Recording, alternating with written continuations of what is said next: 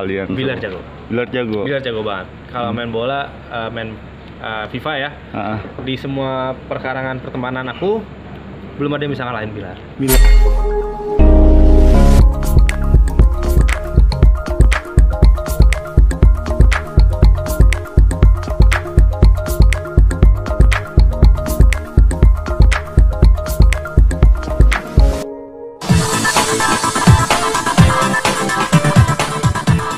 Gue yang udah ngalamin ya.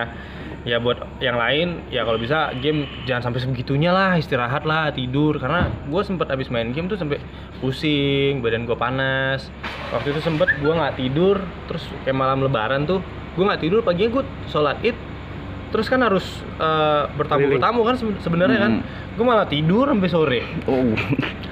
Makanya jadi eh, banyak efek negatifnya juga sebenarnya kalau misal berlebihan karena kan sesuatu kalau misal dilakukan berlebihan kan agak ada efek somethingnya kan itu ada konsekuensi yang harus kita terima Ke mata sendiri gimana?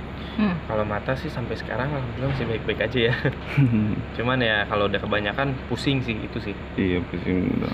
Mungkin selain game PUBG yang menurut Kak Haris sendiri paling seru apa sih? Sekarang kalau PS5 aku suka NBA NBA. 2K21 Hmm. Emang hobi basket ya? Emang basket Iya, juga. basket. Nggak FIFA, karena kan kalau misalnya sama anak-anak gabungnya main FIFA. Hmm. Jarang yang bisa main basket. Untuk main FIFA sendiri ya sama siapa aja sih biasa main? sama Bilar, terus banyak sama Hamzah gitu gitulah teman-teman aku lah. Hmm, mungkin ke misalnya siapa sih yang paling jago di antara kalian? Bilar jago. Bilar jago. Bilar jago banget. Kalau main bola, eh, main eh, FIFA ya, Ah, ah. di semua perkarangan pertemanan aku belum ada yang bisa ngalahin Bilar. Bilar. Hmm, tapi dari Kak Haris sendiri udah pernah ngerasain kalah dari dia. Sering. Tapi gue pernah ngalahin Bilar. Menjadi suatu kebanggaan gak sih bisa ngalahin? Bangga gue bisa ngalahin Bilar kalau di FIFA ya. Gue bangga. Hmm, dia tuh dengan cara teknik mainnya seperti apa sih untuk itu?